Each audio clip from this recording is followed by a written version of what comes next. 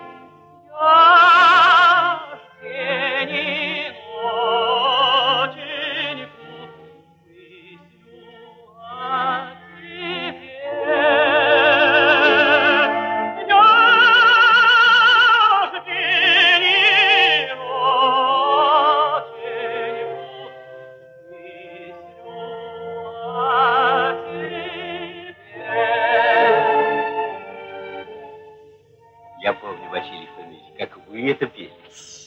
Бросьте, Никита Иванович, я никогда так не пел.